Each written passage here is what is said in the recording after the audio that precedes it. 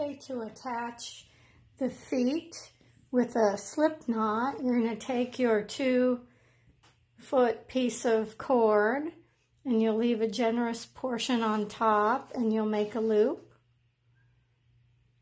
And then we're going to wrap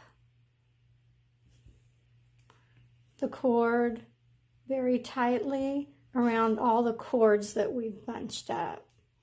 So just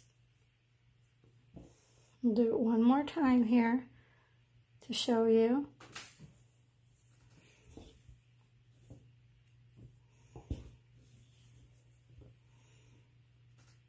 Just hold it and pull it tight.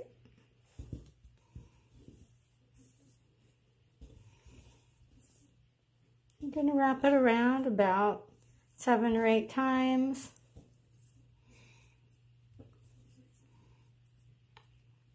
Have my finger through my loop. You don't have to, but just keep my loop nearby. And then I take this and pull it through my loop and pull it. And you pull it tight through here. And this is your slip knot. We'll then take the excess up on top and clip it. Kind of tuck it in there. And there you go.